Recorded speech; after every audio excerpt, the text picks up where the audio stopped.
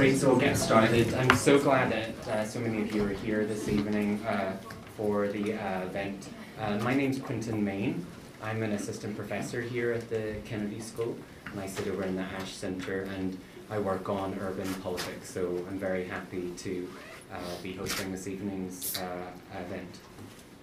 So this evening's event is actually part of a series of events hosted by the Ash Centre, which is part of the Ash Centre's Challenges to Democracy series, which is in honour of the Ash Centre's 10th um, anniversary. And it's really a series of public dialogue events. And within that, we have a subset of, of events that have been going for the past year and will be going over the next couple of years. It will be focused on cities and urban spaces. And really what we're interested in looking at is the ways in which cities can help democracy be realized in the United States, um, or the challenges posed at the level of cities to the realization um, of democracy.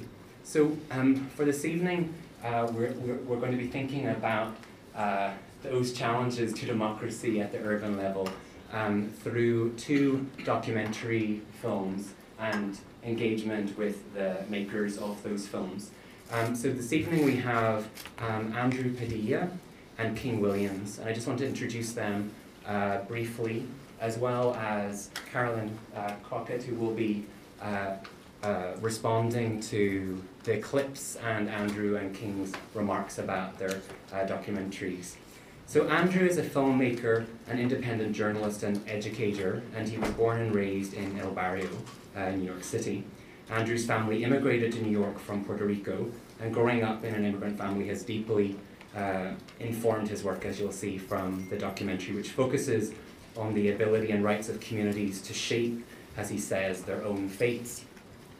Uh, since premiering his film El Barrio Tours, Gentrification East Harlem, at the San Diego Latino Film Festival in 2012, he's been screening and holding dialogues on gentrification and displacement and social inclusion uh, related to the documentary across New York.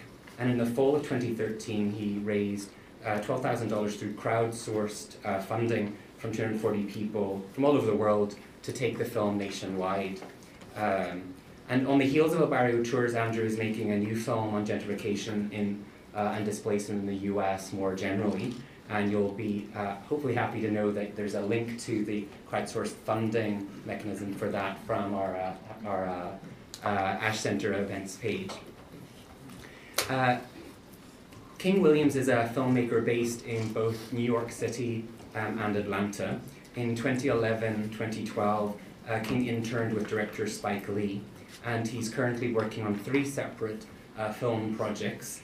Um, his film debut, uh, The Atlanta Way, uh, clips from which we'll be viewing this evening, uh, is due to be released uh, next spring, so you've got your sneak peek this evening. He also has a film blog, Free Film University, and a debut novel to be released in the fall of 2015. Um, King has a passion for community engagement and splits his time to support two nonprofits in Atlanta, the Sneaker Ball and Virtuous Careers. So finally, uh, Dr. Karilyn Crockett, uh, who will be responding to the clips and what uh, Andrew and King have to say, was recently appointed as Director of Economic Policy and Research at the City of Boston. Karilyn holds a PhD in American Studies uh, from Yale and is fundamentally interested in questions often the relationship between education, economic development, and urban revitalization. Her current research focuses on large-scale land use changes in 20th century America um, and, example, and examines the social and geographic implications of structural poverty. Uh, Karilyn's dissertation entitled People Before Highways, Reconsidering Routes to and from the Boston Anti-Highway Movement, investigates a 1960s era grassroots movement to halt urban extension of the interstate highway system.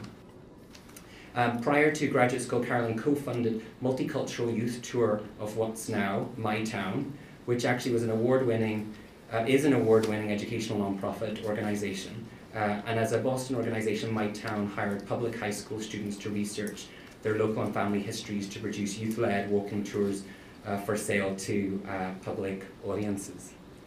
Um, before I turn over to um, Andrew King and Karilyn, I just wanted to say a few words maybe to motivate um, the clips that we'll be watching as well as what Andrew and King and Karilyn have to say. Um, quite often you hear the city being compared to a palimpsest, you know, this ancient manuscript where pages are layered on top of pages when the supply of paper is in short supply. And we sort of think about cities in, in oftentimes in those terms that there's that a city is both a process of layering, but also a process of novelty, of new communities coming in and replacing old communities. And somehow that that is part of the natural cycle of city life and urban life, that communities come and go and there's displacement and there's layering. So what we're hopefully going to be thinking about this evening is the ways in which that layering occurs and the ways in which that displacement occurs and how we want to normatively think about patterns of layering and displacement and how we might want to evaluate it and judge it positively and negatively. But more importantly, we also want to think about the role that local politics and city government and state and federal agencies play in those processes of layering and displacement, and whether the role that cities are playing and local government is playing is a good role, whether it's actively taking a role um, in facilitating the layering and displacement in a good or bad way, and how it's helping communities negotiate the process of layering um, and displacement. So just some questions maybe that I'll pose to you that you might want to keep in mind while you're uh, watching the clips and hearing Andrew King and Karilyn uh, speak are the following. What sort of rights do we as individuals, families, and communities owe each other and to those individuals, families, and communities in space? What rights do spaces have and communities in space have? And do people have rights to space as well as rights that inhere in themselves as individuals, families, and uh, communities? We also want to think about the pros and cons of socioeconomic and racial and ethnic homogeneity or diversity in our communities.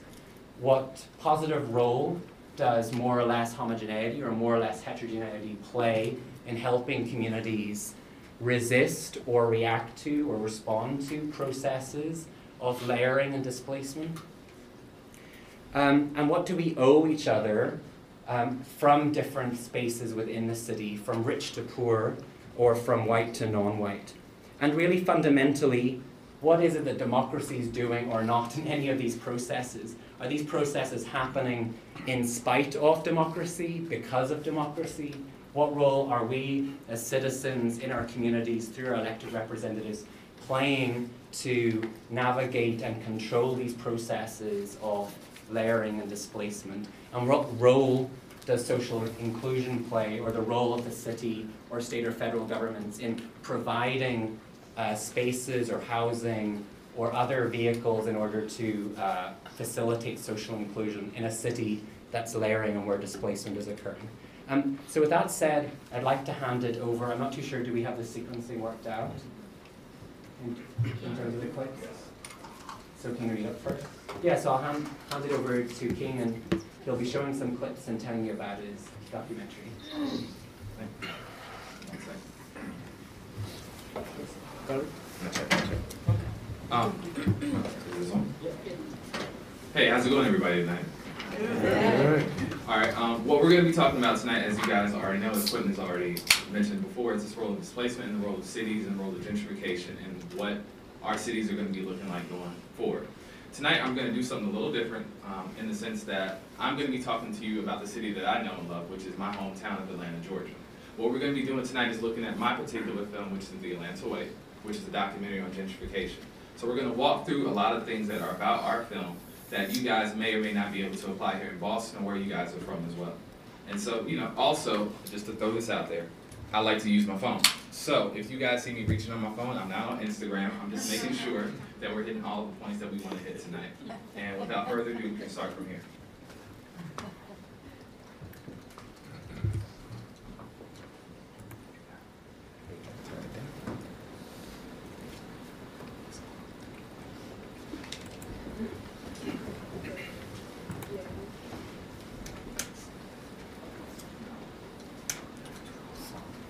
And this is me, as you guys may know, this guy, this handsome guy, that's who I am.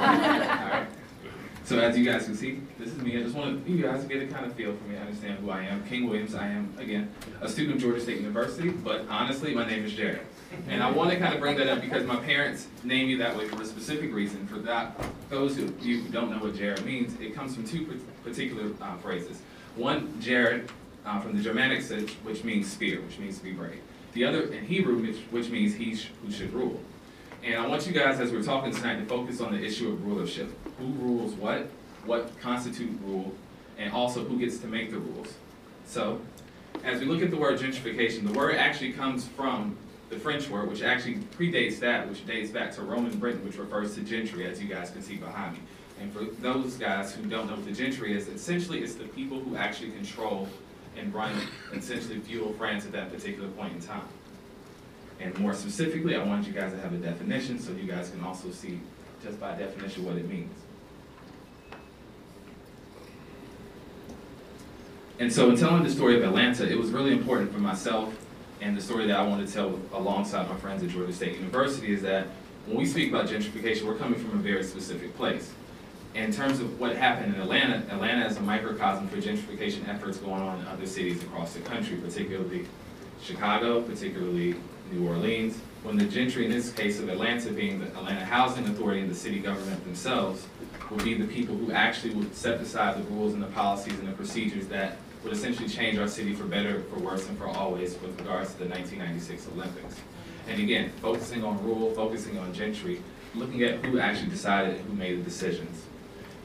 First, I want you guys to understand the person who actually brought the term gentrification to our lexicon as collectively was in 1964 by this wonderful woman named Ruth Glass. What she was doing, she was exploring what was happening in her particular neighborhoods in London, England. She used the word gentry and she added the particular terms of lexicon because that was the best way that she could describe it. And that brings us to present day what our story is about, which is the Atlanta Way. Who have fronts and labor wars, fill your clear your heart, build your railroads and cities, brought forth and powers of the earth, just to make possible this vast representation of the progress of the South. That's from particularly Booker T. Washington, the Atlanta Compromise. This predates the actual phrase, the Atlanta Way, by about 10 or 15 years. The Atlanta Way, for you guys who don't know, it actually is a phrase that's used in Atlanta. It refers to two, particularly the black and white elite of Atlanta, who at pre-turn of the century, going all the way until the early days of Daddy King, would essentially run the city. The black and white business elites, the black and white political elites, in order to keep Atlanta in terms of representing it they wanted to keep it whole, they wanted to keep it forward, they wanted it to not be Birmingham and other cities in the South. So these particular coalitions govern each other through segregation. So henceforth, that's why the term is called the Atlanta Way, and it's based in what Booker T. Washington and what you guys heard earlier in the Atlanta Compromise. Also with that said, this also will play out with regards to our public housing in the future. When the first Techwood project, being Techwood Homes, opened in Atlanta, it was made sure that these particular projects were segregated. Both the first projects who actually opened in the United States, not necessarily breaking ground, was Techwood Homes, and that opened in 1935. The first public housing project for African Americans, University Homes, opened in 1941. Again, these are two things by both parties of the gentry who set aside their economic policy with regards to what they want to do with the city of Atlanta. Always separate, always equal, but always separate. And so, essentially what made me want to decide to do this story was I grew up in Atlanta. I grew up in East Atlanta, specifically Decatur, specifically for you, guys who don't know. To this day, I can see I see somebody in the crowd. and for those of you guys who don't know, it's majority black. Um, again, Atlanta is a racialized city, and once I got to school at Georgia State, as you guys can see behind me, these were several students who decided to work with me on a particular idea, and we thought it was a great question to ask, which is where did the people go? The people being the first people of Techwood Homes and East Lake Meadows once those public housing projects were removed for the 96 Olympics. I remember asking my mother and my father what happened to those people, and no one could really give me an answer. And to put in how significant that was is 10% of all people prior to the 1996 lived in Atlanta Housing Authority public housing. If you take 10% of anything, we'll take 10% of New York City. At 10% of New York City, you're talking 820,000 people that's pretty significant. And what changed this is because this particular project that you guys are looking at right here, which was East Lake Meadows, which was the catalyst, the first project to go down in lieu of the 1996 Olympics. This was a really groundbreaking and innovative measure in the sense that before this point in time, people had public housing and everyone thought that public housing had to be substandard. And also this contradicts the image of Atlanta that we see today, which is essentially, you know, highlight black middle class, black upper class, and all these things are going on. Essentially, you have two dynamics within Atlanta itself. You have the dynamic of the black poorer class, as well as the dynamic of the black upper class, and they both live within the same city. East Lake Meadows, for a lot of people, Techwood Homes, Perry Homes, and the image that was portrayed wasn't necessarily one image that I believe was true. In addition to doing that, the other students at Georgia State itself felt the same way. They think because we live in the project that we are the project. We're human beings, first and foremost, and we're residents who want to have something. We're not lazy like they, they say we are. We pay rent. Some of us get lax behind because they lost a job or something like that. But then if you don't give a person an opportunity to do anything, then you get what you give out, nothing. It's not about right and wrong, it's about equality. And it's about the quality of the residents. And I just feel like if you're gonna if you're gonna tear down a property and displace people, they should have the opportunity to speak out. Not their First Amendment snatched away from them, but to be able to speak out, not to be intimidated and afraid to speak out so that they don't come to meetings to know what's going on in, with their community. But this has been done, and it's like the Gestapo coming in. We're in America. At least I thought we were. The closing of the center, the changing of the locks, and then the scare tactics. We're going to evict you. Let me say this to you. They residents raise their hand and ask questions. Oh, well, we'll come back and we'll answer that the next time, or we'll give it to you in writing, and it never comes. Or they'll say, um, one one lady asked, uh, well, if you're gonna get give us vouchers like that and rebuild, she says, can we come move back in? And he told her he didn't have an answer. Then he said that if you move out, no, what did he say? If they don't want to move, what'll happen? He said, we'll evict you. It's just like when they write the plan. They write the plan, they bring the plan. So it's no consultation because our ideas go to the back of the plan, which means you don't have a plan for us to consultate on. It's your plan. And that particular clip, that was of Diane Wright. And Diane Wright was a resident leader of Hollywood Courts. Hollywood Courts is one of the last remaining public housing projects that we worked on within the film, which brings us to one of the first and important facts about Atlanta, which is this is the first film to analyze the gentrification of an entire city. Now, this is alongside my colleague here, Mr. Andrew, who's working on one as well in New York City, so it's great to actually work with someone who's essentially working on the series of first. In regards to Atlanta, the other thing that I'd like you guys to know is that for us, Atlanta is the first city in US and world history to not only open public housing, but it's also the first city to close all of its public housing. Despite what people may think, essentially the Atlanta project and the Atlanta model failed. Now, the new income model is mixed income communities, and because of that, Atlanta is seen as the center of rebuilding and new ideas with regard to public housing. Now, our third fact is that because of mixed income communities, you can see this in new places like New Orleans as well as the Cabrini Green and Chicago Housing Authority's elimination of all their public housing projects. The reason being is because the Atlanta Public Housing Project concept of mixed income communities and diversified communities have worked. The controversy, in, in a sense, comes from who gets to come back to the projects as well as who gets to receive vouchers and subsidies for these particular things. The reason why most people are upset and the reason why you saw Diane Wright is because most residents, when they get an opportunity to come back, if they do get an opportunity to come back, it's not hundred percent of the residents prior. So in most public housing projects, if hundred percent of the units went down, only twenty percent were back. So in bringing back only twenty percent of the residents, yes, you have addressed the issue of low-income communities, but at the same point in time, there are eighty percent of residents now who had subsidies, who had vouchers, who had a place to live, albeit it may not be the best place. But now you have a system in which now you see in Chicago what happens when you disperse people who have no job, no income, no source of income for a long period of time. But the thing that makes Atlanta different in a sense from other places like Chicago is that it's always been an outlier. It's been north of the south and south of the north, as has been said by W.E.B. Du Bois. But at the same point in time, it's one of the few cities, at least that, once it gentrified, it managed to make money. It managed to make a profit. Most places, when they do tear down public housing, they don't necessarily generate a profit. With the Atlanta Housing Authority model, once projects are torn down and once things are destroyed, you are able to sell and renovate the land. So one of the things we wanted to address in the film is, is the Atlanta Housing Authority essentially for the people? Or is the Atlanta Housing Authority essentially a government subsidized real, estate agency? And the reason being is derived from the ninety-six Olympics, as you guys could see the fountain before. But the ninety-six Olympics is the last financially solvent Olympics in human history at this point in time. And I know you guys, Boston may or may not be looking at the Olympics in twenty twenty-four. I'm gonna say it now. You should really think about this. Um, The reason being is because one, once public housing projects went down, with the Atlanta Housing Authority as well as the city government, you were able to tax, sell, and annex the land that you were already there before.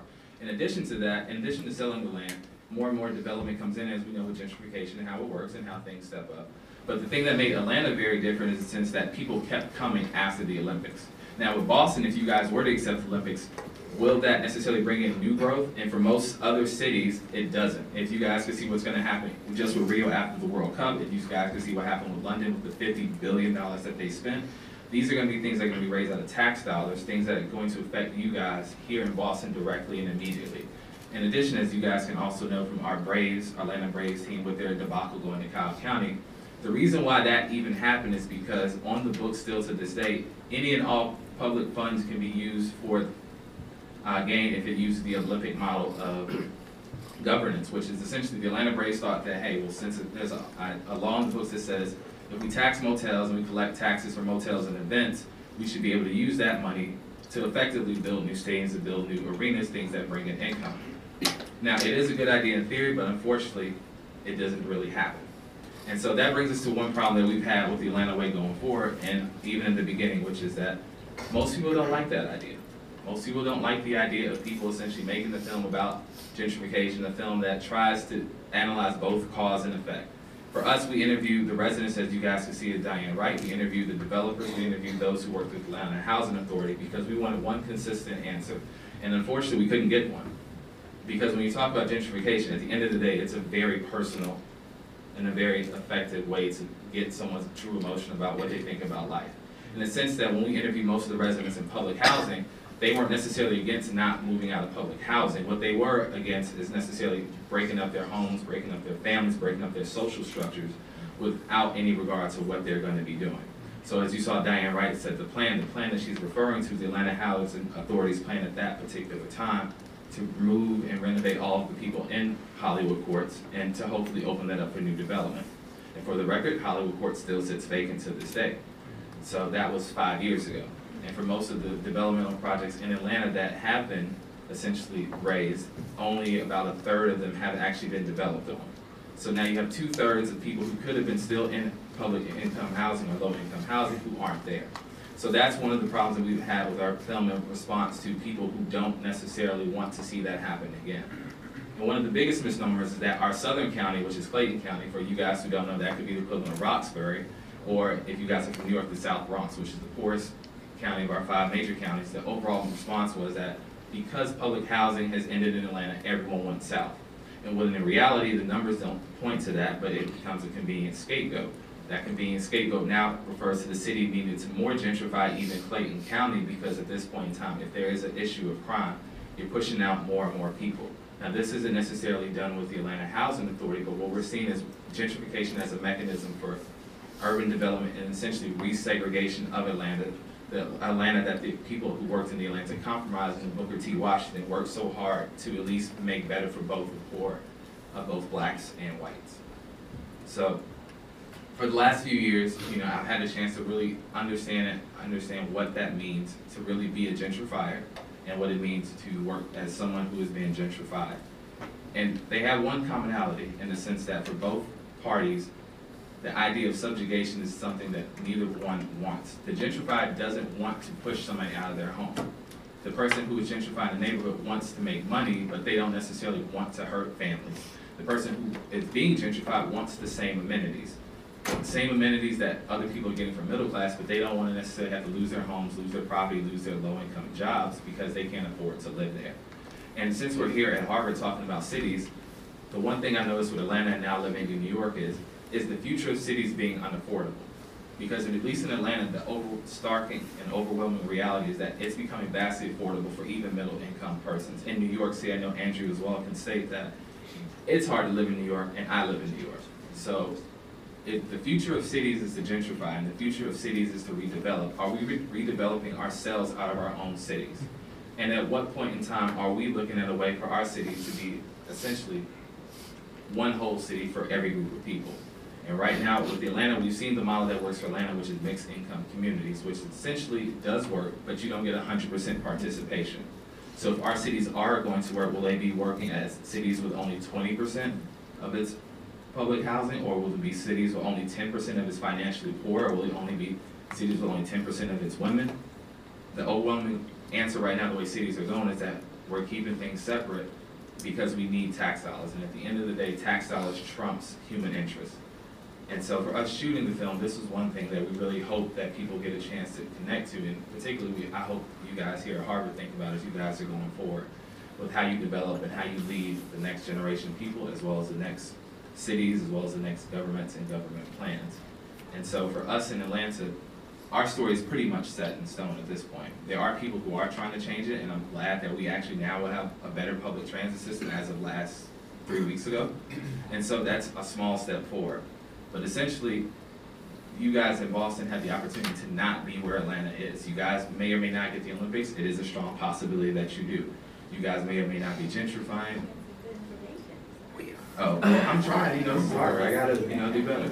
So, but going forward, it's the idea of where are we as cities? Where are we as people?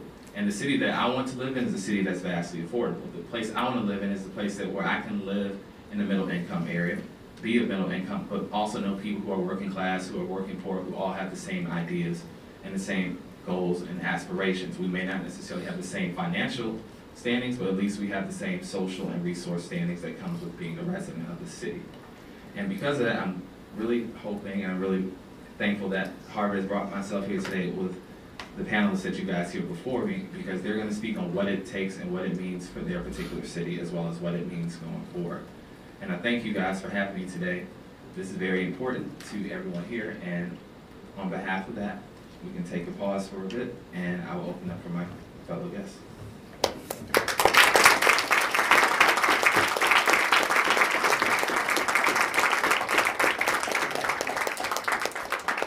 Oh, damn. No, man. Uh, hearing hearing King speak is um, I'm really glad that he began with what gentrification is. Um, I'm really glad. I'm glad that you, you, you, you brought it back like further. Gentrification isn't a brand new phenomenon. Um, I didn't know what gentrification was growing up. I had I never heard of the word. I'd say maybe even six years ago, I never heard the word gentrification uh, before. If I heard, I certainly know what it meant. But I, I did remember when I was a kid. I'm born and raised in East Harlem. Uh, my parents, they, uh, my family came from Puerto Rico uh, in the 50s and 60s during Operation Bootstrap. It's essentially neoliberalism being tested on Puerto Rico before it came here. Uh, and so Puerto Rico was in an interesting point in the 50s, well, in the 40s leading up into the 50s. Puerto Rico, right, coming from being a colony under Spain, and then in 1898 becoming a colony of the United States. Commonwealth, excuse me, which does not translate into Spanish. On all the garbage trucks in Puerto Rico, it says Estado Libre Asociado, free associated state, which is a different type of classification, which is a nice way of saying it's bullshit. Uh, so, anyways, um, Puerto Rico was in an interesting place, right? They, that there were there were two large factions. There was a faction that wanted independence, and there was a faction that wanted to be a bit closer. And actually, the independence faction was pretty strong, but what broke was labor, right? Labor, you can't have a movement if you don't have labor. And labor ended up breaking to get close to the United States. And so Puerto Rico made a different choice. Instead of spending the time on developing their own economy, they did what they could to incentivize others to come in and bring an economy in or, or develop, you know, what tax breaks or incentives can we give to the outside, to American corporations or, or, or, or businesses on the outside, right? How can we bring them in? How can we help them help us, essentially. Um, so my parents came in that because in that process, um, that economic plan, part of that economic plan uh, was tremendous displacement in Puerto Rico. Puerto Rico lost over a million people in that time. There are currently more Puerto Ricans living outside of the island today than people who actually reside. I think it's like four point something and three point something, right? So that was, you know, later on, government officials were asked, like, wow, did you know all these people were gonna be displaced? Did you have any idea? And they're like, oh, we didn't know. Maybe they didn't. But it was conditioned, there wasn't enough, by that model, there was simply not enough, that was always the mantra, Puerto Rico can't sustain itself. It wouldn't be able to do it alone, there's just too many people. Well, through that model, that was the case. And um, so my parents came, and that was really a group of people who just could not find work. Uh, and that's, that's how my family ended up here. And I'm so glad, I've been following King's work for a bit because um, his work focuses on public housing. And the only way in which my story would have been possible, um, the only way that it is possible, excuse me, is public housing. All of my family has been through public housing, right? My grandparents, when they came here, that was the first place that they went uh, after tenement slums, right? Um, they found an opportunity in public housing. And it's important to remember this idea that we have of public housing, that's not what it was. Like, in fact, public housing was like take. I remember my grandmother saying it was kind of like she moved up a class, right? Because you're talking about going from tenement slums with like rats and, and shared bathrooms, and now you have your own bathroom, you have water, you have electric, you have an elevator. This was this was a big thing. For a few years, there was there was funding, right? There was an actual commitment for a few years, um, and even though that commitment was yanked um, which explains, in my mind, why things went so badly. Um, right? It's like you have a relationship and you don't commit to it. Right? It's like I'm with this, I'm with this woman, and uh, I'm not gonna call her though. Right? I'm with her, but I'm not gonna spend time with her. Right? We're gonna go out to eat, but she better pick up the check. You know? Or then even beyond that, I'm actually gonna invest my time and energies in another woman. Right? That wouldn't work for a relationship nor does that level of thinking work for public housing. And it didn't. Uh, so it failed. But I always like to mention, like, okay, it failed. Why did it fail? It's another thing that I love about, about King's work. He's asking, he's asking us to ask not just, you know, what is happening, but why is happening, who's benefiting through these processes. And um, again, I didn't, I didn't understand any of those conversations when I was younger. I just remember being 15, and uh, who's ever taken the 6th train in Manhattan? All right, cool. Y'all ever uh, taken it above 96th Street? Yeah? I, did you ever hear the announcement? I remember I was like 15 and it was, it was weird. I was on the train and it was like, This is 96th Street. This is the last stop on this train for all Caucasians. The next stop is 103rd Street. Did y'all ever hear that? It was crazy. Like clockwork, at 96th Street, all the white people got off the train. I was 15. I didn't know about any of the. I, if I was here and I was 15, I would I would be jumping all over the place. I wouldn't even be able to sit still. Like, who's this guy up here talking about bullshit? Um, and I was I was a kid that would have actually said that out loud. Um, but I didn't know why that was. I just knew that it was. And then I remember a couple years passed, right? And, and me and my friends, we would bet, right? And it's important, right? We, we, we bet who's going to get off the train. And it's weird that at 15, we knew. We could actually today, without knowing any of these people, we'd know who was getting off at what stop. Well, We must be magicians. but beyond that, I'll never forget that it began to change, and we, we didn't understand that either right? We began to see the people were passing those borders. These, these bo- we'd known them to be. We didn't know why they were borders, but we knew they were borders. There was one time this guy fell asleep on 125th Street on the train. Hmm.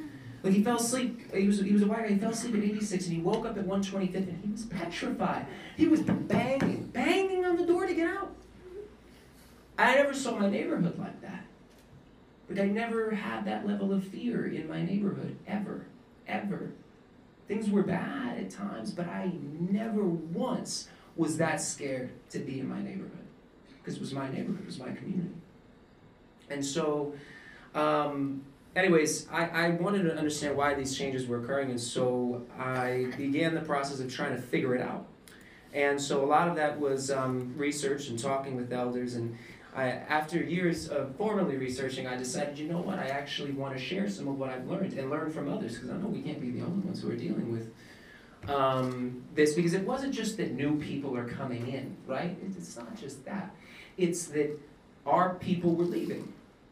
And in terms of what it is a gentrifier, that was such an, I mean, the, to us, it was, a gentrifier seemingly is someone who wants to change the neighborhood and their interests, right? I just want to say that that's how I, I don't think that if you're a new resident, you're inherently a bad person. Okay, if I move to the South Bronx right now because I can't afford East Harlem, I don't want someone to think I'm an inherently bad person for that. However, um, I think it's about intention and, uh, and what you do with your privilege. I just wanted to mention that. That being said, these are some residents that I that I that I became kind of close to in my neighborhood, and they were dealing with displacement. They're right next to where the East Harlem explosion was. Have you ever heard of that? Does anyone know what that is? Uh, in East Harlem, uh, we have a pretty old housing stock, and there was an explosion that occurred in East Harlem in March. And I originally thought it was this building. It isn't. Um, but it's just because they had so many problems with their landlord, and they actually had an explosion shortly after this clip. Um, so I'm going to play a short clip of this for you, and I just want you to um, hear their voices and and um, just kind of understand a bit of what is what has been occurring so far um, in my community. Me and my wife Vanessa, we moved to the neighborhood a year and a half ago, and I, I love everything about this neighborhood. It's so much better than the last one. But compared to the last one, we had a super in our building, and our building was a uh, 18th century, uh, 1800s tenement building. And if that could have a super, there's no reason why a large building like this one shouldn't. And with the amount of rent, especially that I'm paying, I know that everyone has their own amounts that they're paying. I believe that we need a super. We we deserve a super. I got, I mean, corporate house, she's trying to get me out of here because of rent control, look at my kitchen. I have to live with everything out of the cabinets because of the mildew. And I have to live like a pig because I can't use my cabinets, everything is out. So she took me to court because I have too much stuff in my apartment. She gave me this new, but see it's all full of mildew? My asthma is so bad, okay? That I can't even breathe sometimes and I have all these appointments trying to keep a roof over my head. I mean, your husband doesn't die every year. I was with my husband 28 years, you know? Now all of a sudden I'm trying to put my life back together and this woman's trying to kick me out. Where am I gonna go? I'm trying to keep the little that I have. landlord has to realize that in the early eighties and late eighties, um, this tenants association kept this building free of drugs. We would have a tenant control. Yes. I live on the top floor near the roof, and I would come home from work and there would be multitudes of people by the roof landing smoking crack, getting high. And it was us that kept the building safe for us and clean for the landlord. legally, we're entitled to, um, live here, whether it be rent control, rent stabilization, because we've been here many years. You pay, we all pay our rent on time, they can't say anything about that, so if you expect service in return, it's not asking too much. It's my husband, Joe Cuba. He's, he's the father of Boogaloo. He has three gold records. He's played all over the world. He was the first Latino to make English words to Spanish music so that the Americans could understand it. Okay? Yeah. He was the first true crossover. Mr. Halade. Uh, they called me one time at my job and offered me two thousand dollars to move out. It was two thousand dollars. And it was, and it was, the landlord himself called me and said, yes, he called and he said, uh, you've been living here long enough, isn't it time to move? So he said, I said, then what are you offering? He said, two thousand dollars. I said, you forgot quite a few zeros. I'm so glad my husband's not here to see this. Okay? I'm so glad he's not here. But he would be proud that at least I'm stand, you know, keeping to my guns. I didn't run. As long as we stay together. I'm not running nowhere. This is all I have. This is my memories. 28 years living in here with him. You know? Nah, I'm gonna fight whatever it takes. Whatever it takes, I'm gonna do. There's a certain economic. Ah, sorry. Um, so I, I'm, I, I will um, tell you that is Joe Cuba's wife. I did not know. At first, I thought it was just some Latina that loves Joe Cuba. There are a lot of those. Um, he's a big deal. Um, so for a while, one on one. Oh, could you get to? Thank you so much. Uh, so for a while, that was the first clip that would actually come out when you would search 101 East 116th Street. So it was really good uh, because if someone is looking for this, right? That's I know this story because I spoke with them. I'm from this. You come in from some somewhere outside the community, just looking for an affordable place to live. You're not going to know that that necessarily is happening, right? And so I think it actually began. I saw that the, the, the numbers, the, the, the rent numbers, began to come down a little bit because when you would search that listing, 101 East 116th Street, what would you get? This video of these old ladies getting kicked out. You know, it's sad, man. That's messed up. So, after a bit, the property manager decided to do their own video and name it the same thing. Oh, wow. We come up uh, in right next to each other now on Google, and this is honestly one of my favorite videos, uh, and I'm really happy to share it with you.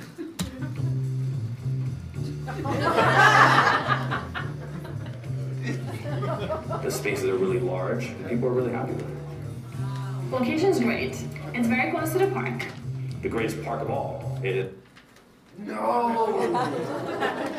Since it's buffering, I just want you to take account of how many times you were told that it's safe. How many times you're told this Six is blocks away. The neighborhood is safe. It's very comfortable living here. There's definitely something here for everyone.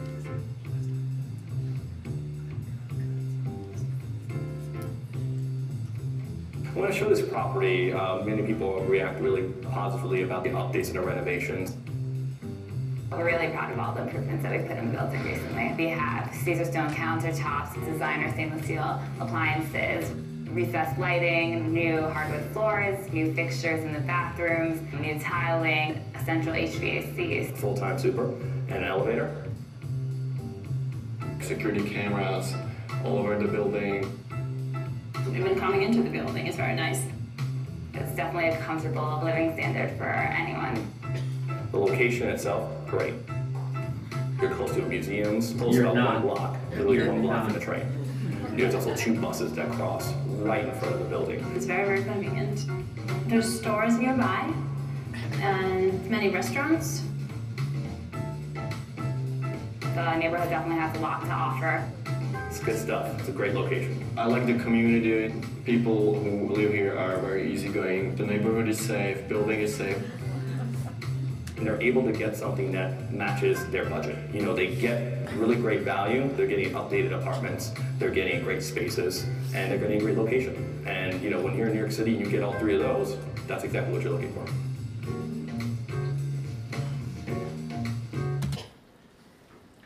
The East Harlem explosion occurred in March. When that explosion occurred, I thought that it was this property. And I thought it was this property because in 2011 there was an explosion that actually affected some of the rent control units, and one of the elderly women that you saw on the sofa was actually pushed out of her apartment. Um, she lived, you know, when you have apartments that are in rent control, rent stabilized uh, uh, settings, um, you know, landlords don't really have a ton of incentive to to uh, upkeep them, and the landlord just didn't want to make the repairs, even though he was legally obligated, and um, essentially offered her a pretty minuscule buyout that she really didn't have the power to refuse, because she didn't have anywhere else. She didn't have any other option. Um, when the East Harlem explosion occurred, I thought it was this building, right, and and uh, it was actually across the street. This building moved a couple inches when that explosion occurred. All of the windows were blown out on that side of the building, and they've yet to be repaired. So, like, even as if I wanted to go search right now, I was like, oh, that sounds good. Maybe I'll go. Half of the windows of this apartment complex are still blown out, and apartments are going for like two thousand to three thousand dollars a month. Um, so, short clip after this, and, and that, that'll be all. Um, but I, as I begin to take this film across the city and see how this was affecting, I'm bad at multitasking, give me two seconds. I can't. I can't multitask. I've never been able to. Okay. So as I began to uh, go across, I remember San Diego was the first time that I'd ever actually seen another community through this perspective, right? Like I visited other like friends and stuff, but like uh, the film got into the San Diego Latino Film Festival and community, a whole bunch of community members actually from Barrio Logan came out to the screening, like 60. And at first they were kind of disappointed because they thought the film was about their barrio, El Barrio. They call it, it's, it's a group of Mex, it's a community of Mexicans, but basically same thing. Highway destroyed the community, uh, public and private sector disinvested, city put all the, the uses any community tends to not want, put them there. Um, disinvested, gave them no opportunity, but now, oh wait, it's 15 minutes from the center of the city, and now it's important again, but the people aren't. So they're going to do the same thing. And we were, we were kind of talking about, oh, like different things that they tried and maybe failed, or we tried maybe failed to mitigate or deal with this issue in our communities. And what was amazing was that we were kind of just like reinventing the wheel. Like we'd all been through similar stages, we just weren't communicating or we weren't connected. And so we realized from that point that there was a real need, because um, there had been a lot of films um, on individual communities. I just finished doing one I hadn't, I mean, in terms of entire cities, that's a huge, it's a huge piece to take off. I don't know why, but we thought it would be a good idea to try and uh, talk about this issue uh, nationally. Um, displacement and, and really, you know, who really does have the actual right to remain in, in the communities um, that they're in. And so we've been on a 15 city tour all across the, the, the country. We're about halfway through now. Um, just trying to learn right now and see, okay, well, how, how is this happening? Is there a national narrative here? Um, and if so, what is that? And um, because again, these policies are federal, and, and the and the market forces that are affecting our communities are global, and a lot of these investors and developers they're they're global, and they communicate with each other. And so this is about trying to make sure our communities are doing the same thing. Um, and so I'll I'll play this for you. The last thing I want to say, just watching all of the, if I've been a little all over the place in my presentation, it's been because as I was watching King talk about the projects there, and as I, I came across his work when I was researching um, the public housing specific portion of mine, and um, it, it's, I don't know, I'd like to hear what you think about it, but to, like, has anyone ever just watched videos of these buildings being imploded? Has anyone ever watched videos of, of public housing complexes in America being, like, dynamited to the ground? Yeah. You've watched that? Yeah. Dynamited. Why dynamited? Because they were built in the 50s and the 60s. What were we doing? Cold War. So they were built with the intention to last through nuclear bombs. I wouldn't test it. But that's why they needed so much dynamite. And it just seems so violent. And so as we're having this conversation, I'm sorry that I've been all over the place. I'm sure I'm over time and I apologize. But it is it's emotional because that's violent. And I think that going forward, not only are we trying to learn how this is affected this this has affected other communities and what other communities are doing, but also try and see, you know, how how we can in some way come to cope um, with that.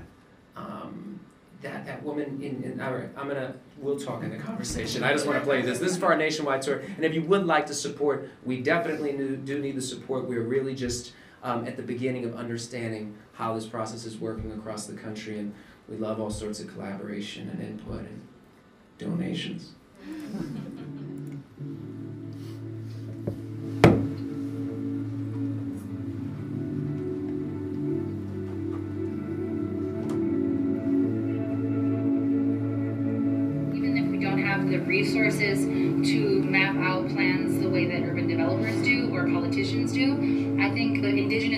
of seven generations, like that's real. And we need to remind ourselves that our communities have also been visionaries. We just call it something different. So instead of saying we're urban planners, we say we're thinking about seven generations ahead, which you know what is actually longer into the future than urban planners are even thinking but we're not seeing how those are connected, right? How is what you do to the earth generations in front of you? We have to be mindful of that. How is that also connected to urban development, you know? And I think if we can bridge that gap, then we can be strategic. Yeah, we don't have the resources, like the, the material resources, but I think we do have imagination and we have resiliency because gentrification is what it's called now, but this is a a 500 year displacement. We've shown that we are resilient people.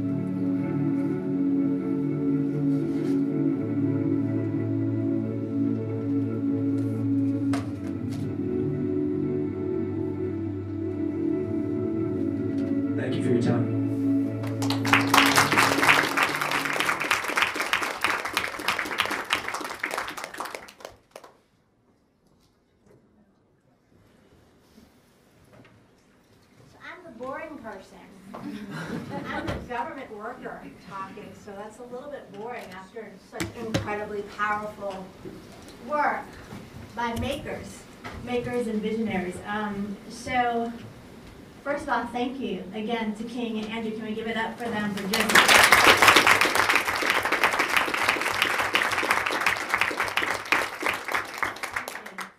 for creating work, for documenting, for bringing analysis, power, insight, and holding a space for a conversation that doesn't get to happen enough, right? So I have a couple things to say that are just like totally from my beating heart, and then I'll talk a little more boring about Austin, right? Um, so, um, for me, what is so striking and so incredible about the work of King and Andrew is that it reminds us that residents are definitely are the soul and the mandate of government. And so whatever is your political science theory or political philosophy, you've got to remember that government, particularly local government, has a mandate to kind of hold space for residents and to think about what that means for place as well. And so the work, both of their projects really lift up how important it is to, to hear, to kind of stop, to listen to the voices that analyze and live in these cities and in these places that are under intense economic pressure. Um, and not just to hear, but to respond. So the documentation effort is really important. I think I was saying this to you, Quinton, about film as a medium for, for documenting, for advocacy, for organizing, and, and how powerful it is, um, not just for the general public, but for, for policymakers, for government leaders to kind of look at this and think about what does this, what does this mean as a call to action?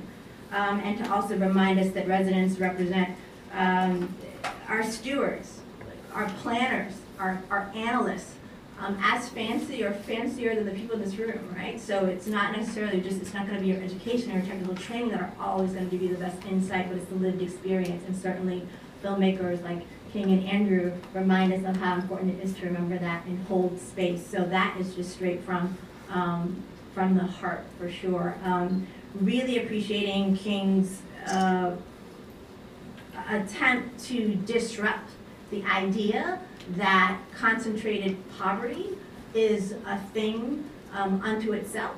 Kind of what does it mean to think about public housing um, and the policy in Atlanta, which is to, to really think about concentrated poverty and how do we how do we rethink that and does that mean demolishing public housing?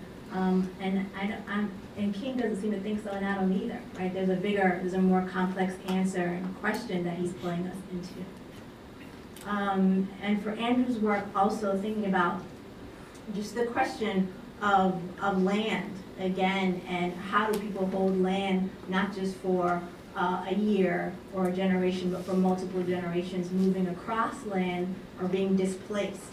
And so that's the other theme that's here. So displacement across land. How do people hold that?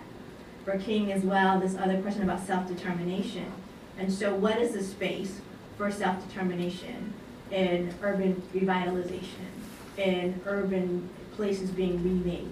And so this is definitely a way that this work kind of links back to some of the work that I do now in the city as Boston sits um, in this incredible moment of economic boom and explosion. Uh, the, the income inequality rate in Boston right now is expanding at an unbelievable rate. Um, by many accounts, it's the fastest gentrifying city in the United States right now. Gentrifying faster than New York, than Atlanta, than LA. Um, all these places, um, Boston is swinging very hard. And so what does that mean to sit in a city um, that has about, right now, I think there's $6.5 billion in the ground, um, 13 million square feet of new office space, residential space being populated right at this moment. earlier today, I was on a, on the top of a ladder on the Millennium Tower, uh, which is in the, um, in the old Filene's basement hole. Um, it's gonna be the largest, the tallest residential tower in Boston with a penthouse for thirty-seven point five million dollars, is the penthouse apartment. That's cheap. That's just one of the floors, right? So what does this mean in real terms, right? Are these things to celebrate? Or are there things to kind of give us pause, particularly if we're having a conversation about gentrification?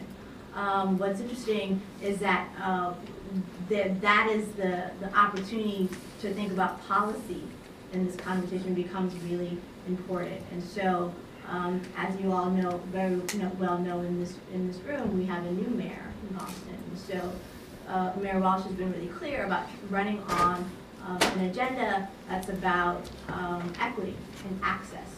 And what does it mean if we think about cities as a, um, way to think about cities as uh, a portal for distribution?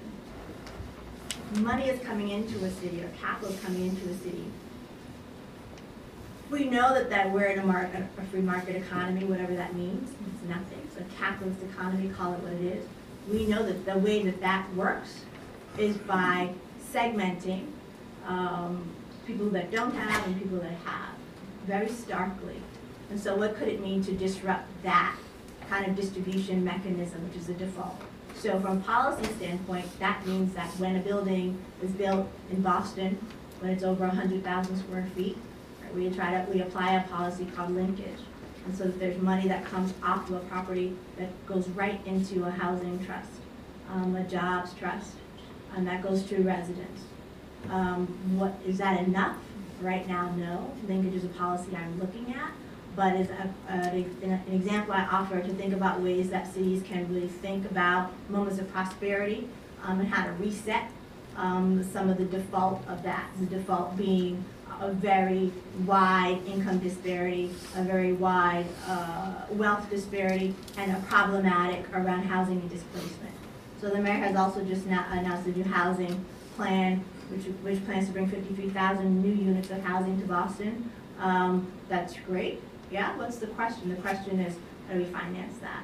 The question is, uh, how do we make sure that the, the housing stock that the city has right now um, for low-income families, affordable housing stock is maintained and grown. So I also am a product of public housing. Um, my family came from West Virginia to Boston, grew up in public housing in Dorchester. I know how important that housing stock is to preserving um, a place to be, to live, to remain in cities for families that are um, that are working, families that are not.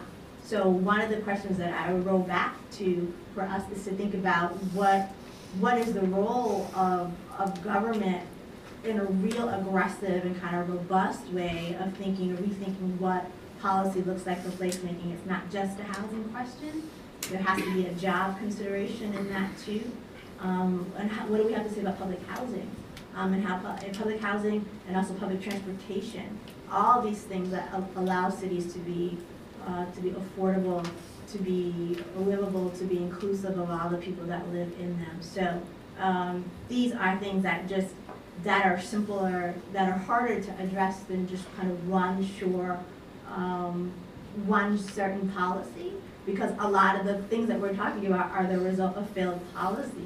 Right? It's not about failed people in these communities for sure. Certainly not the folks that you guys are interviewing and documenting, but thinking about what is the uh, what is the vision? I think you asked both asked so beautifully. Like, what is the vision for cities, um, cities going forward to make sure that the people who live in cities are the people that get to be in cities for a long time, folks that have already been there, long-term populations. Um, so I'll stop there. I could definitely um, go on, but I would say that for me, as someone that has the opportunity to think about um, longer durations of time, um, because after my training as a historian, I do think about 50 or 70 years or kind of multiple generations at once, um, which made me wonder why the mayor would actually want to hire me for this job because um, it's sort of an unusual disposition, um, but also that that is the only way that we can get to sustainability in a city. I would say by foregrounding what residents, current residents' lived experience is, by thinking of over a much longer time horizon and understanding that multiple of policy measures that are addre- addressing, these for me, land use, um, capital investment, and workforce development, all those things coming together, um, and trying to be aggressive about it at a time when there is, there are more, there are more dollars on the table. Um, that's certainly true for Boston. Um, and, uh, we try to deal with that, but despite the fact that we have, um, so many, uh, folks in our city, so many institutions that are tax-free.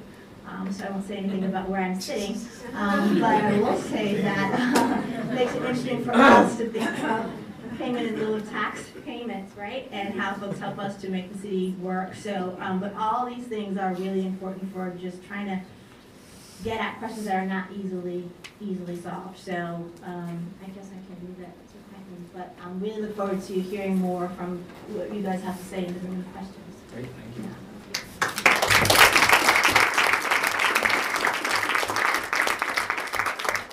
So I'd love to open it up to uh, questions. Um, We don't have mics up with you, but we should be able to hear you clearly, but if you can project as best that you can, um, I'll just call on, on you to ask questions of King Andrew or Karilyn.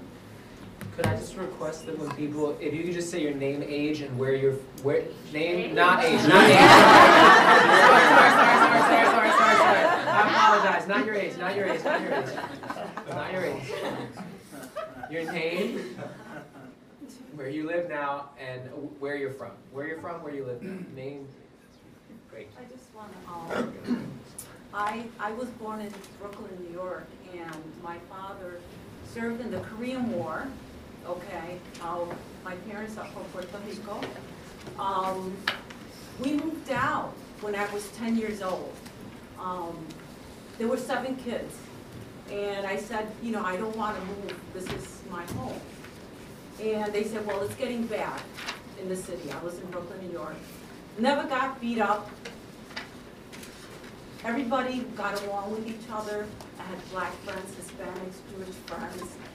It was a, a it was a, a melting pot, a belt of immigrants.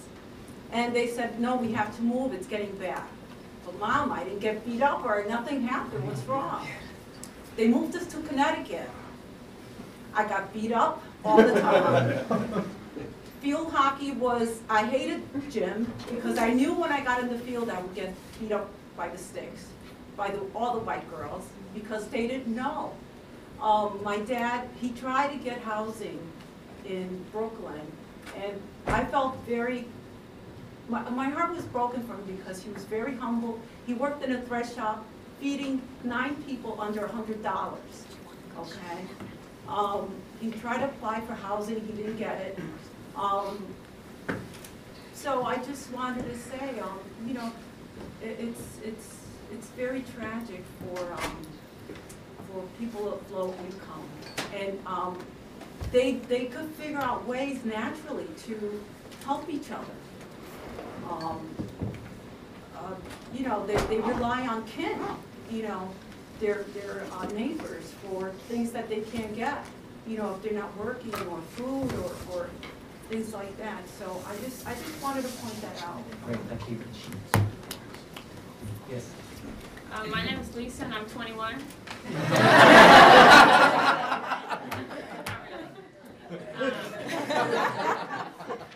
I just moved here from Washington DC where we've seen this going on for um, 10 years now. It's not getting better.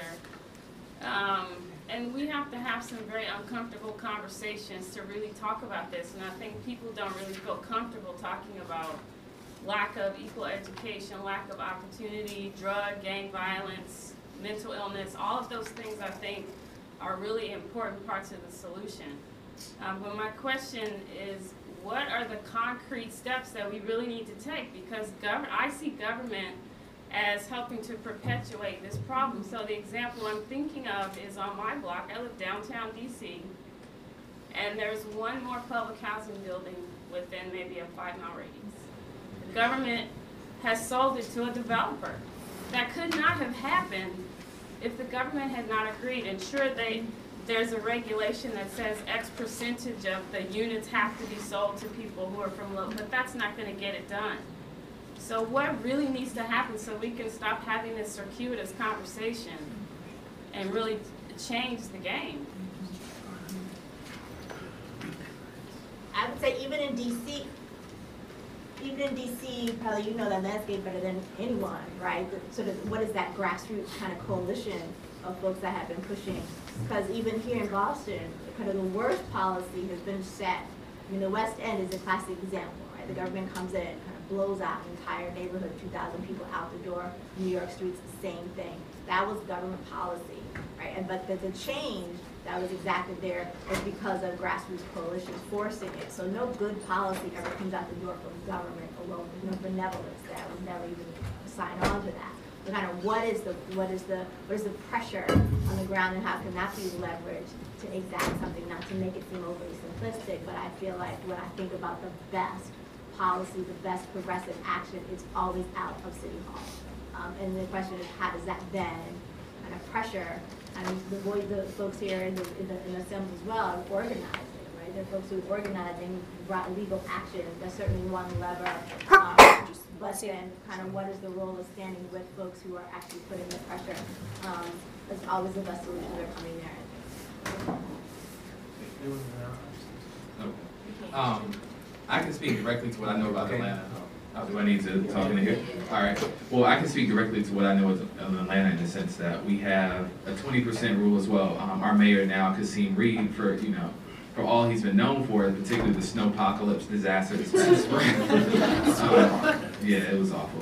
But one thing he has been really good at is about not just making sure that residents who are long-term residents who want to be a part of Atlanta stay a part of Atlanta. 20% of all new residents and new redevelopment in Atlanta has to be deemed affordable. The great thing that, at least what I've seen in Atlanta, at least now with this particular mayor versus the last 20 years or so, is that in addition to being 20%, all residents who've lived in Atlanta and paid their property taxes for at least five to 10 years, as well as doctors, um, teachers, firemen, policemen, school teachers, and um, on the collegiate and the pre-K to the 12 level have all had basic tax freezes, with a sense that as long as you live and work in Atlanta, you work for Atlanta city government, or if your family does as well, you take a certain percentage of your taxes and you freeze it. In the case of someone who is elderly as well, for those particulars um, with property taxes, as well as the ability for them to go further on late rent payments, so it's really hard to move them out. But again, this is one mayor who's coming after, you know, 20 years of so-so policy and things that have happened on the political level, as well as just in the open market that mayors couldn't handle. So Atlanta's trying to get it together. We can't seem to get a plow on the street, but at least we can keep people in their house. Is Right to the City organizing in DC? Do you guys know? I'm sorry, what? Right to the City, is that coalition in DC? They're, uh, they're in the Bay Area, and they're also in Boston, I think they do some work in Chicago too. No, but I, I don't think there's a groundswell of people who are, who are lobbying the city. You hear conversations like this, but what I'm talking about is there needs to be some massive effort to say, we are going to protect this. So instead of selling it to a developer, why doesn't the city develop it for, to keep people there and then provide these other opportunities so they can stay? That's what I'm talking about. Well, that's because the, because the public sector just doesn't do that anymore. Like that's, that's, that's, that was, um, that was a thing, there was, I was speaking to people who, because Bill de Blasio right now has his plan, right, of two hundred thousand. Who here has heard that Bill de Blasio is very liberal? Raise your hand. Okay. Did you read that Huffington Post article where he was like smashing liberals across the country? Like, you need a backbone. Did you read that? That was like on my newsfeed. It's crazy.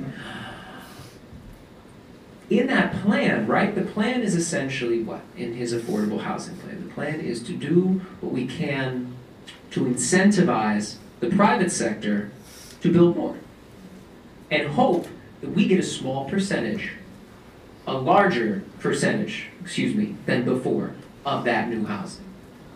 That's the goal, right? So um, mandatory inclusionary zoning for some, but right, but like in other areas that haven't been as gentrified as much, right? More more tax breaks there, more subsidies there to encourage building.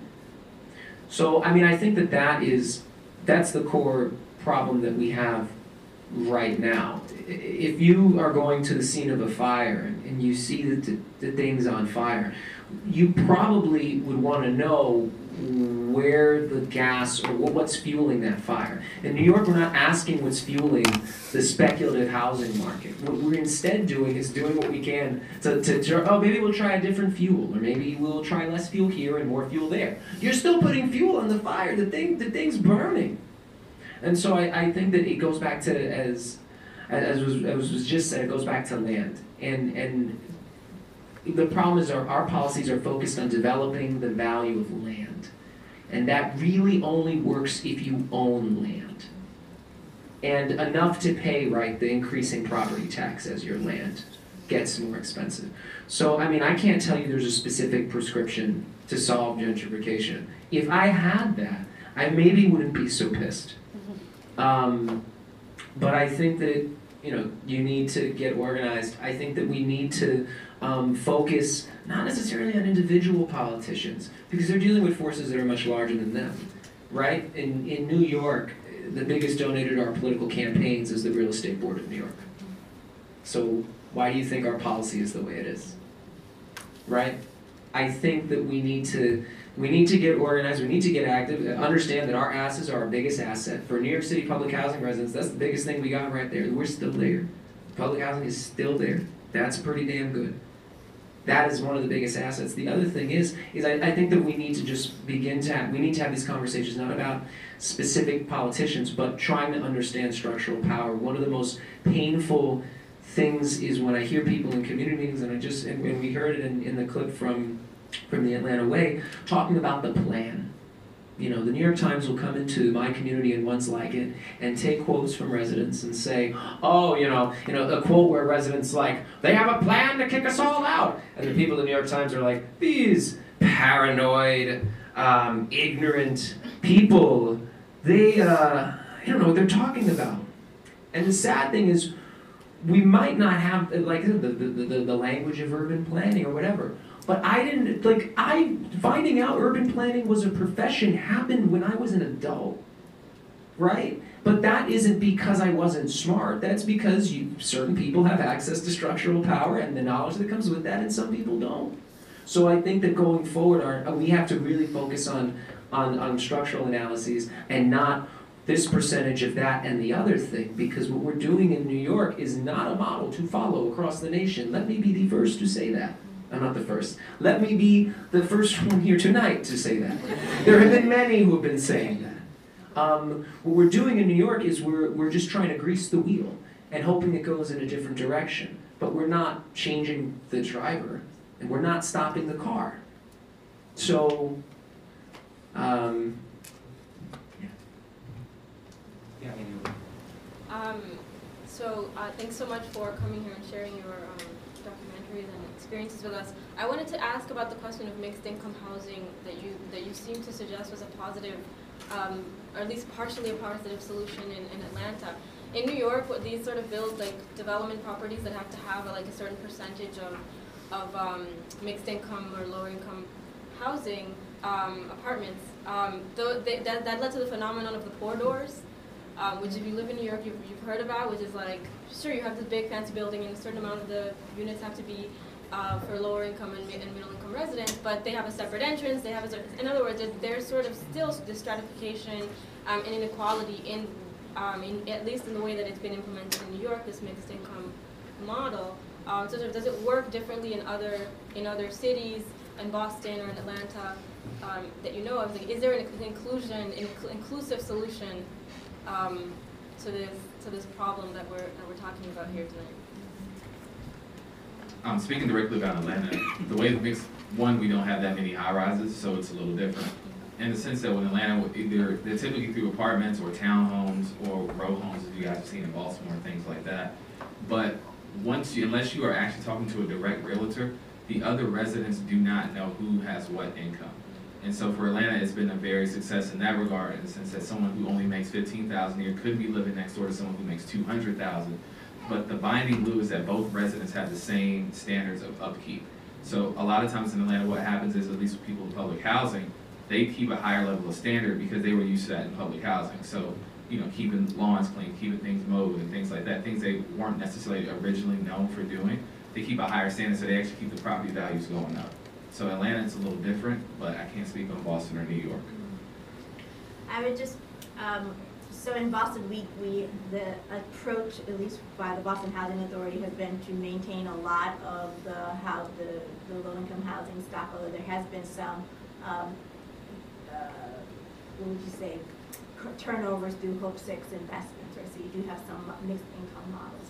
What makes the Boston market sort of interesting as well is that folks through organizing and activist work have pushed more into kind of cooperative or shared ownership models for housing, which is something we haven't talked about tonight. But it's interesting to me that even in, uh, was it Catherine Bauer and it's the early women reformers that kind of give us public housing policy in 1934, and 37, that there was lots of competition even in the 30s about shared models, shared ownership models for public housing, and that's kind of fallen off the table. And even in the 60s, when that kind of came back into play, when the federal government released some money to experiment with the idea of tenant managed housing, um, it was something that folks didn't really exploit. And now I feel like this conversation has gone back, come back around since we talk more about sharing economy, what that, whatever that really even means, right? So um, that language, the idea that there's more space in conversation is something that um, is also important in the housing space. So I know you guys know that space from conversations about Uber, Airbnb, um, also conversations around uh, urban agriculture, land banking, land trust is something I'm looking at from a community perspective as well. So a, a lot of words basically just to say that I feel like there, there needs to be more conversation about cooperative strategies for thinking about housing development. And, and there are some amazing models in New York, maybe some in Atlanta too, I'm not sure, but that's another space to think about what is it, how do you hold on to um, housing stock that's affordable when the direction is going elsewhere, we're going toward luxury. Uh, the, the buildings that are in the ground right now in Boston, eight percent of them are toward luxury housing. This is nothing for a middle income folks. Low income is just not even, you know, it's a different conversation. So it's a great question. Maybe just a last question. The last one. Yeah. Yeah, thanks. Hi, I'm Raelle. I'm originally from Boston, but I attended Georgia State University as well in Atlanta. And my question from also kind of like a government perspective, because I work in constituent services, is when you're moving these families out of housing and you're only allowing 20% to come back, where are these other people going? Because, for instance, today I'm speaking to a lady who is now ho- homeless because she was kicked out of her housing, and she has a five-year-old, and it's like you're trying to find community resources, but what do you do as a whole when only 20% of people can come back, and we already know that the wait lists are years behind, and everything else is you know, not happening as far as affordable housing for these families. Um, with regards to Atlanta, and the one thing that we will explore in the film is what happens to the people who didn't get public housing. And unfortunately, for a lot of people, we don't know. But of the people we did find, and then unfortunately also through police reports, those who weren't able to find housing eventually did things that we assume people would do, which is rob and steal. There weren't things, instances of necessarily violence for that reason, but one thing we noticed is that after public housing projects went down, violent property, particularly grand larceny and petty larceny, if you guys know what those are, increased because people essentially looking for cars. They're looking for any place that they can see or stay in for the night, as well as the number of homeless shelters with full occupancy increase in Atlanta. But that's only what I can speak on with what we know of the residents who were able to at least still be tracked. And let's be for real about it. Again, housing is only a piece of it, right? And the, the, the importance of, of, of affordable housing is thinking about the subsidy piece. So how do you want to subsidize housing? That's a question. But then the other question is like, how do you create better jobs or expand the job market so folks can have more income? So that's another piece of it. So it can never be this kind of one part strategy. It would never shirk government's responsibility in that. But it, it has been a very herky-jerky relationship between the federal government, uh, states, and local governments which say who wants to hold their hand in the, in the, in the affordable housing mix and everyone is saying me no not me you you and it's a mess right and so then we're having this huge blow up right now terms of the homelessness of the unhoused population in Boston because of the Long Island Bridge breakdown but then um, it, it goes back to a bigger question around opportunity economic inclusion in a city that, can- it cannot just be a housing conversation. It needs to be, but it cannot be that in isolation. Um, feel like, um, there, there's gotta be, HUD needs to, I don't know, there's an opportunity for leadership there, not just financially, but also just in terms of the conversation, and it's bigger than promise zones, and it's bigger than choice neighborhoods, and so it can go off on that another time, but we should talk. Well, is there a way just to say one thing before? Sure. Sorry, I apologize. In a minute, going back to mixed income communities in New York, that really has not been a good, uh, it's been problematic. It's been problematic because you're, you're, you're subsidizing, um, mixed income communities, right? In poor communities. And there's this idea that by bringing in wealthy people through osmosis, poor people become wealthier, right? Just imagine, it's like you rub off on me and all of a sudden I, I, my income starts going up. And so I think we want mixed income communities, we want to make sure that our community's income is going up, and that that's why we have a mixed income community. Not that we're bringing in people from outside and now we have a mixed income community. Um, because it only remains mixed in that interim period, right? While the poor are leaving and the wealthy are coming in, because then eventually it becomes an upper, an upper income community, right? And, and so on and so forth, and that's what's happened um, in New York. Um, I, just in terms of things we can do, it's very important. The last thing I'll say, if, if you really want to work towards changing what's, what's happening, um, obviously organizing, obviously thinking about this in terms of structural power, but also we're, we're subsidizing this. All of you. What do we do? Everyone here pays for this. In New York, a billion dollars was spent in 2013 subsidizing luxury developments through one tax break. Right? So in terms of where are we going to subsidize? Oh, well, the government doesn't build public housing anymore. Well, it's, not the government doesn't build housing anymore, but it subsidizes, right? So we're going to, if public assistance is fine for developers and public assistance is fine um, for those with more structural power, why is it that we're supposed to be self-reliant, right? We're supposed to pick ourselves up by our bootstraps, but there are others that we're giving a lot of subsidies and a lot of support to. So I think that we just need to be clear about that. And thank you, everybody.